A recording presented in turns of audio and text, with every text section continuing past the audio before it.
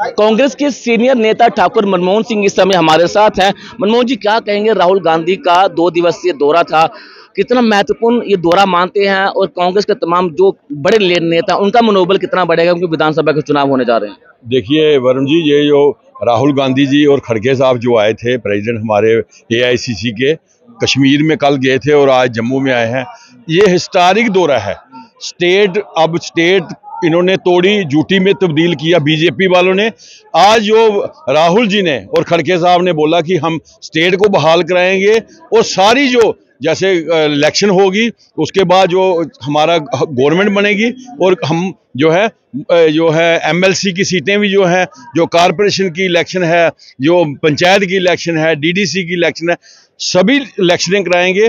और हम निजात दिलवाएँगे। जो जो इन्होंने जातियाँ की हैं हमारे जम्मू के लोगों के साथ, हमारे बच्चों की छून, छीनने की कोशिश की है जब जो स्टेट जू टूट जाती है, जब जूटी बनती है तो पूरे कंट्री के लोग जो हैं, वो उस पर हावी हो जाते हैं। पूरे कंट्री के लोग जो हैं, वो हमारी बच्चों की नौकरी ले जाते हैं आज हमारे बच्चे जो हैं, बेरोजगार हैं। इसलिए ये इलेक्शन जो है, ये दस साल बाद करवा रहे हैं, क्योंकि हर स्टेट में पाँच पाँच साल के बाद इलेक्शन होती है। लेकिन इन्होंने बीजेपी वालों ने हमारे साथ जुर्म डाया है।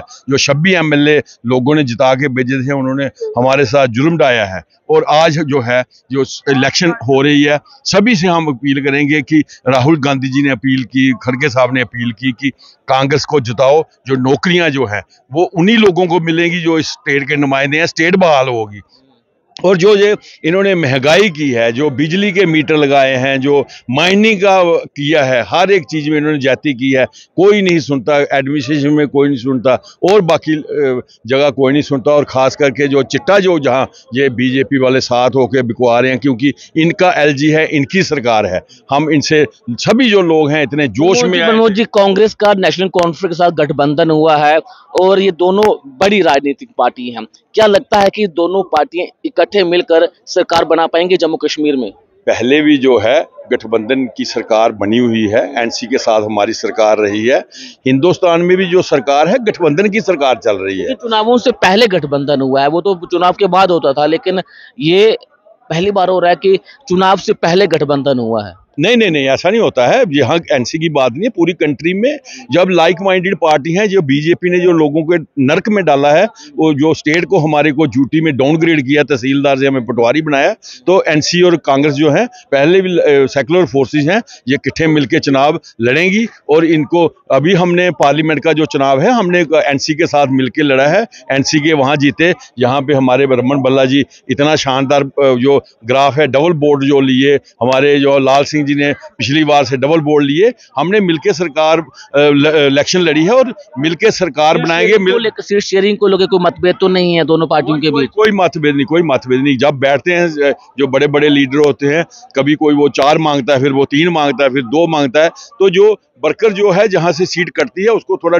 मनोबल टूटता है। लेकिन वो वर्कर भी जानता है कि हम अगर किट्ठे होकर नहीं मिलेंगे, क्योंकि बीजेपी भी तो इकट्ठे होकर लड़ती है। पूरे हिंदुस्तान में जो है, उन्होंने किट्ठे होकर इलेक्शन लड़ी है। तब जाके ये 240 पे पहुँचे हैं। अगर अकेले अकेले लड़ती है, महाराष्ट्र में आज किट्ठे लड़ रहे हैं, जाने दस दस पार्टियों के साथ अलायंस किया है। कंट्री में इस वक्त पच्चीस पार्टियों के साथ अलायंस किया है। बीजेपी भी मिलके लड़ती है।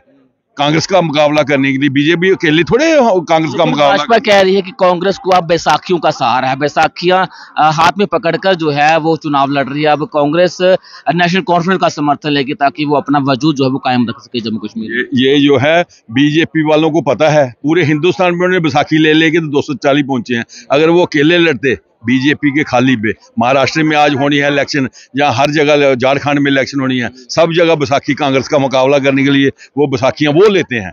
कांग्रेस पार्टी बैसाखी नहीं लेती हैं। कांग्रेस पार्टी सेकुलर फोर्सेज के साथ जो है जो इन्होंने जातियाँ की हैं उसके लिए जो अलायंस हो रहा है। पहले भी हमारा जो पार्लियामेंट की इलेक्शन हुई है वो अ, हमारा अलायंस में इलेक्शन हुई है उसमें कोई बड़ी बात नहीं है। बीजेपी भी तो कांग्रेस से डरती है और फिर चार चार पार्टियों से दस दस पार्टियों से अलायंस करती है। अभी भी ये कई जगह अलायंस करेंगे कश्मीर में अलायंस करेंगे जम्मू में अलायंस करेंगे सब जगह तो ये अलायंस करते हैं बीजेपी वाले भी। इसलिए हरियाणा में भी अलायंस करेंगे। आप आप देख लेना दो दिन के बाद चार दिन के बाद आप भी ब्रेकिंग न्यूज़ सबूत दे देना कि हरियाणा के साथ छह पार्टियों के साथ मिलकर जो पार्टी लड़ेंगी।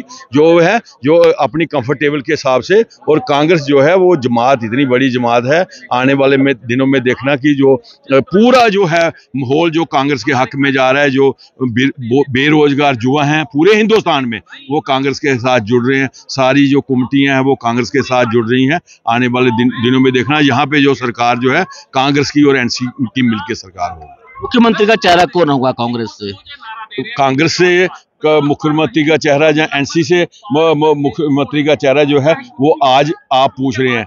अभी तो इलेक्शन अनाउंस हुई है फ़र्स्ट फ़ेज़ की वो है उसके बाद जो है वो आने वा, आने वाले दिनों में जो है वो आप आपको सामने दिखा दे, दे जाएगा कि कौन मुख्यमंत्री का चेहरा है। बहुत बहुत शुक्रिया ठाकुर जी से बातचीत करने के लिए। तो ठाकुर मनमोहन सिंह है जो कि जम्मू वेस्ट से कांग्रेस के उम्मीदवार हो सकते हैं क्योंकि एक बड़ा चेहरा है कांग्रेस से। और अब यही क्यास लगाए जा रहे हैं कि जो नेशनल कॉन्फ्रेंस और कांग्रेस का गठबंधन हुआ है ये कहीं ना कहीं भाजपा पर भारी पड़ सकता है। नमस्कार।